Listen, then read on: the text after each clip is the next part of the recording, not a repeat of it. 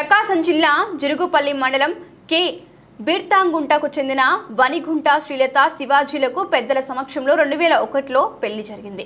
శివాజీ పెళ్ళైన కొద్ది నెలల నుంచి వనితను చీటికి మాటికి చిత్రహింసలు పెట్టసాగాడు. ఒక సందర్భంలో వనిత ఆత్మహత్యకు కూడా పాల్పడింది.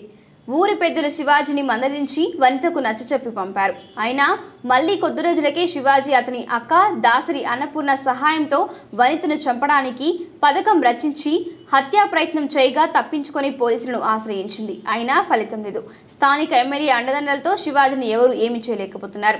వనిత హైదరాబాద్లో మానవ హక్కుల కౌన్సిల్ రీజనల్ చైర్మన్ డాక్టర్ శాంతిశ్రీని ఆశ్రయించారు. డాక్టర్ శాంతిశ్రీ ఆమె బృందం సింగరాయకొండ సిఐని కలిసి శివాజీపై కేసు నమోదు చేశారు. ఆ తర్వాత ఎస్పీకి కూడా ఫిర్యాదు చేశారు. వనితకు త్వరలోనే న్యాయం జరిపిస్తామని ఎస్పీ హామీ ఇచ్చారు. ప్రకాశం జిల్లా చెందిన చిక్కుడు రాజేశ్వరి దంపతులు రాజేష్ వివాహిత సంబంధం పెట్టుకుని రాజేశ్వరి చేతి మాటికి చిత్రహింసలకు గురిచేయడం మొదలుపెట్టాడు. ఈ కేసు కూడా human arrest south regional chairman doctor Shanti Sri Prakasam జిల్లా ఎస్పీ దృష్టికి తీసుకువెళ్ళారు. ఎస్పీ రెండు కేసులు పరిశీలించి న్యాయం చేస్తామని హామీ ఇచ్చారు.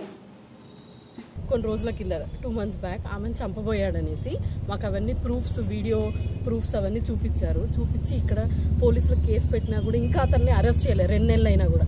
తను ఏంటంటే భయపడుతున్నారు ఏమైనా చేస్తాడేమో. ఎందుకంటే వాళ్ళ హస్బెండ్ పేరు మహేష్.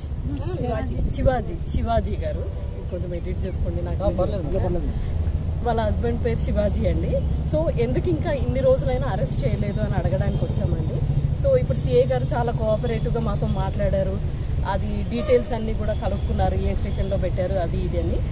మొత్తం తెలుసుకున్నారు. మాకు చాలా తొందరగా ఆయనను అరెస్ట్ చేసి ఆ అమ్మాయికి న్యాయం చేస్తానని చెప్పారండి.